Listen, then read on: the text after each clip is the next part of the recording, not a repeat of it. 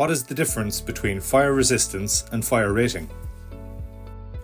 Fire resistance measures the ability of a construction element to maintain its load bearing function, integrity, and insulation function.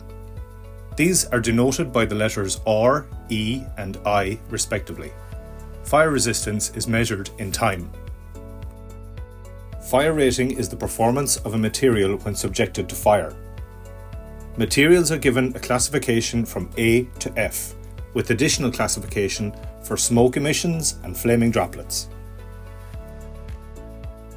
The A to F classification of a product or material is defined by its contribution to fire, with A1 classification as no contribution all the way to F, which is extremely flammable.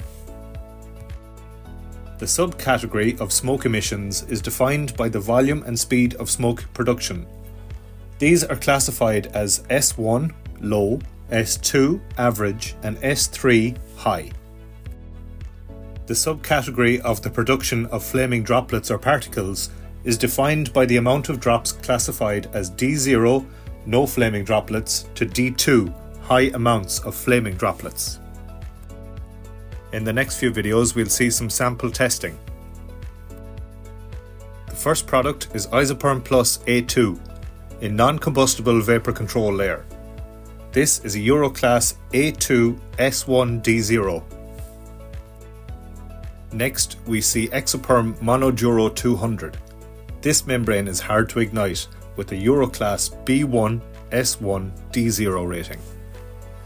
Finally, we have a low grammage ordinary membrane. This type of membrane is easy to ignite with a Euroclass E rating.